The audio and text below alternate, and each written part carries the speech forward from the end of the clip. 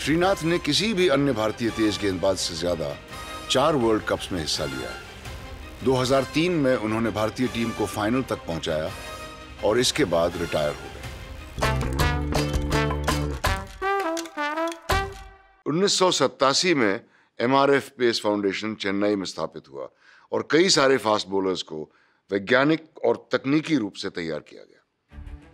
आपको शायद ये मालूम नहीं होगा कि सचिन तेंदुलकर और सौरव गंगुली भी एमआरएफ पेस फाउंडेशन गए थे। शुक्र है, उनको बल्लेबाजी पर ही फोकस करने को कहा गया। इस एकेडमी को पहली सफलता हाथ लगी जब मैसूर निवासी जवागल श्रीनाथ उभर के आए।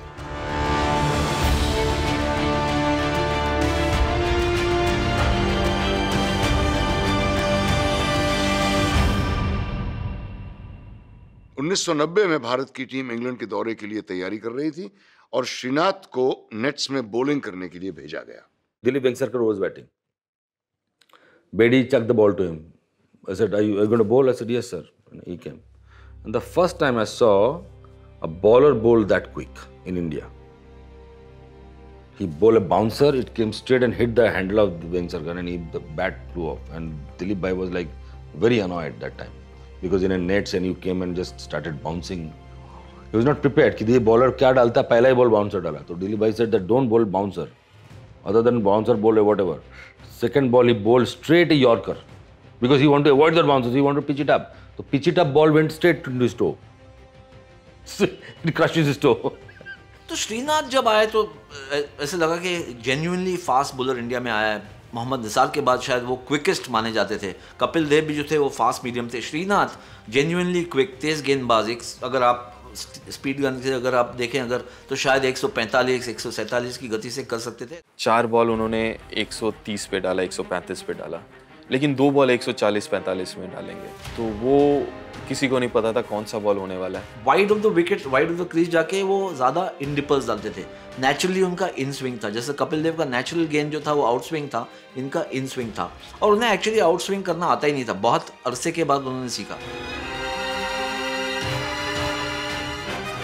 अंतरराष्ट्रीय क्रिकेट में पहले दो तीन साल श्रीनाथ ने केवल ओवरसीज टेस्ट खेले, जब टीम में एक तीसरे पेस बॉलर को शामिल किया जाता था। जब कपिल देव रिटायर हुए उन्नीस सौ चौरानवे में तो उनको आखिरकार घरेलू टेस्ट में खेलने का मौका मिला। उन्होंने वेस्ट इंडीज के विरुद्ध पाँच विकेट्स लिए और दूसरी पारी में 60 रन भी बनाए।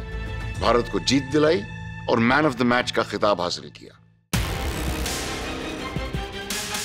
इसके बाद घरेलू ज़मीन हो या विदेशी श्रीनाथ भारत के बॉलिंग स्पीयर थे और उन्होंने कई शानदार स्पेल डाले। कई बैट्समैन उनके फास्टर वन को झेल नहीं पाते थे और आउट हो जाते थे। नेचुरल एबिलिटी श्रीनाथ की जो है वो बहुत अच्छी और वो एक मैं समझता हूँ कि उनको उनके स्ट्रॉन्ग पॉइंट्स बॉलिंग के बारे में बहुत उनको पता थे। 1999 के वर्ल्ड कप में स्पीड गन्स हर गेंद की गति मापने के लिए प्रयोग में थी। श्रीनाथ का शोल्डर ऑपरेशन हो चुका था और सबका यह मानना था कि अब श्रीनाथ की रफ्तार पहले जैसे नहीं होगी। लेकिन टूर्नामेंट में वो तेज गेंदबाजी में केवल पाकिस्तान के शुएब अख्तर से पीछे थे और साउथ अफ्रीका के एलन डोनाल्ड और ऑस्ट्रेलिया के ग्लेन मग्राथ से आगे।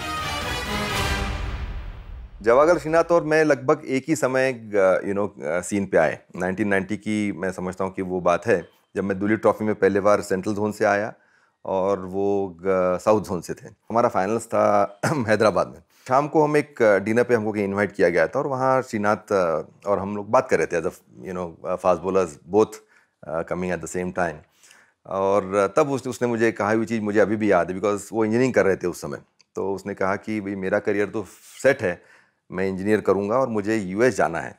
यू you नो know, मेरा वो ड्रीम है मैं यूएस जाना है ये मैं क्रिकेट खेल रहा हूँ ठीक है। You have a career in cricket that's what उन्होंने मुझे कहा हुआ अभी भी याद है। Of course it's turn out that you know he had a glorious career और because as a pace bowler definitely I rate him very high Srinath ने किसी भी अन्य भारतीय तेज गेंदबाज से ज़्यादा चार वर्ल्ड कप्स में हिस्सा लिया 2003 में उन्होंने भारतीय टीम को फाइनल तक पहुँचाया और इसके बाद रिटायर हो गए। कपिल देव के बाद वो दूसरे तेज गेंदबाज हैं जिन्होंने 200 टेस्ट विकेट्स लिए हैं और एक दिवसीय मैचेस में 300 से ऊपर विकेट लेने वाले वो इकलौते भारतीय तेज गेंदबाज हैं। कैवागल श्रीनाथ अन्य तेज गेंदबाजों से बिल्कुल विपरीत थे? मैंने उनको कभी भी अग्रेसिव बॉडी लैंग्वेज या स्लेजिंग करते हुए नहीं देखा, जो आमतौर पर तेज गेंदबाजों की आदत होती है। और फिर भी वो भारत के इतिहास में शायद फास्टेस्ट बॉलर रहे हैं। श्रीनाथ के करियर के अंतिम पड़ाव में उनके न्यू बॉल पार्टनर थे एक ऐसे खिलाड़ी जो एक छोटे शहर से उभर कर आए और कड़ी मेहनत करके उच्च कोटि के फास्ट बॉलर बने। जब चाहो ऑन हो जाओ। एपिक ऑन चलाओ। Available across all devices